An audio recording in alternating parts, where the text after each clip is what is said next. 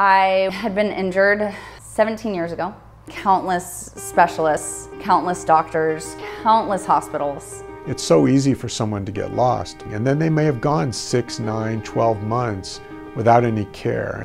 Most people have never heard of the Brain Injury Alliance, even though they've been around for almost 40 years. We have people coming to us two, three years after injury.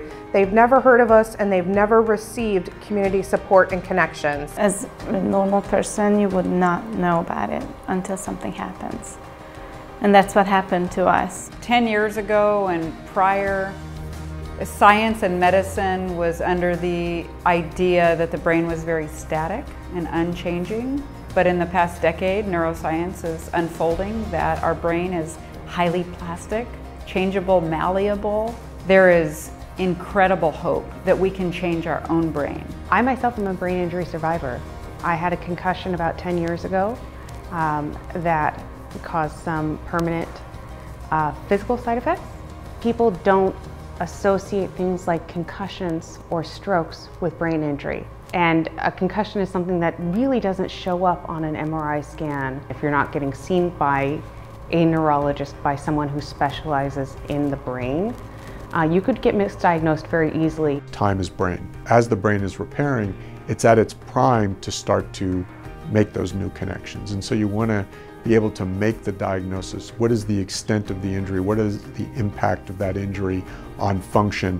And then now focus your therapeutic interventions at those different areas. Oftentimes we don't really realize we have a problem with our brain and yet it can very well affect the whole family. My grandma died from breast cancer in the 70s because she was afraid to tell anybody she had it. She was embarrassed. And so now we have that with brain injuries. Across the nation, there's really not a, a lot of uniformity in how brain injury is addressed, how it's cared for. Fundraising for brain injury is extremely difficult compared to other health disorders or diseases. People don't want to talk about brain injuries. People don't want to acknowledge brain injuries. One of the least funded um, medical issues, even though it's one of the most prevalent. Hi, buddy. How are you? Good to see you open your eyes again. I got a phone call.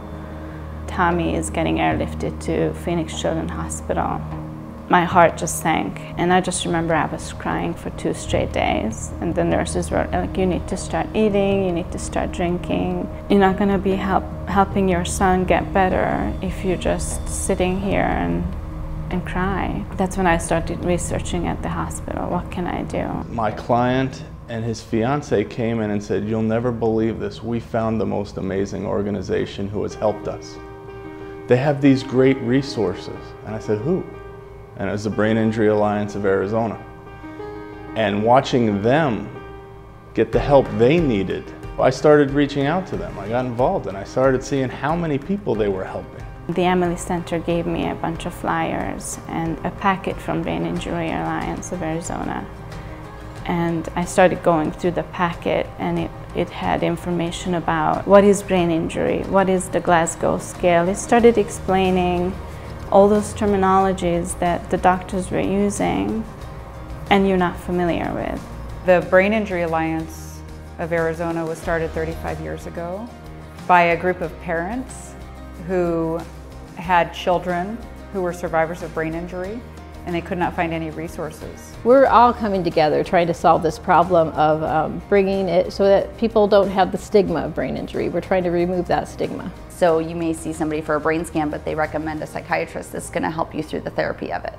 I came into the Brain Injury Alliance through their survivor path and have since become a member of their advisory board and a big vocal advocate for the work that they do in the community. There are extensive resources for, for people who are, are survivors of brain injury and for family members of people who are survivors of brain injury. So the whole side of the organization is about counseling and support groups. It's a place for people to call I have a brain injury. My brother has a brain injury. My husband, my wife, my son, my daughter has a brain injury. When you're a family member and you're taking care of somebody who's had a stroke, the stroke may cause personality shifts and you have to learn how to, how to manage that and how to love the new person that came out of this stroke. Well, everything's affected by the brain. Everything you do from your movement to the pain that you have in your ankle. So many people in Arizona suffer brain injuries every year, tens of thousands. That's why it's important that we support the Brain Injury Alliance with money, with volunteering your time, with support.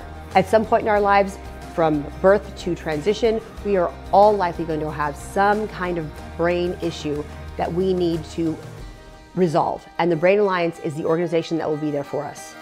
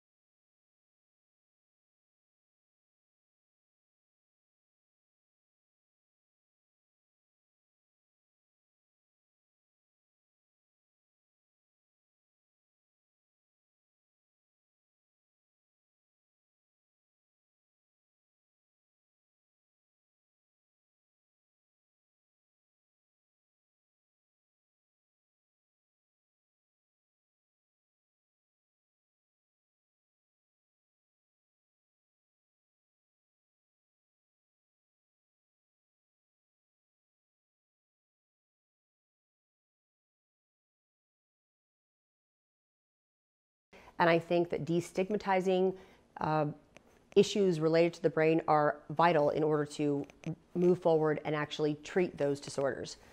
I think the Brain Alliance injury is essential in this community. Many people have nonprofits who they absolutely have a personal relationship or a personal reason that they donate. I think the Brain Alliance affects all of us, and we should all have a personal stake in the growth and the expansion of this organization. At some point in our lives, from birth to transition, we are all likely going to have some kind of brain issue that we need to resolve. And the Brain Alliance is the organization that will be there for us.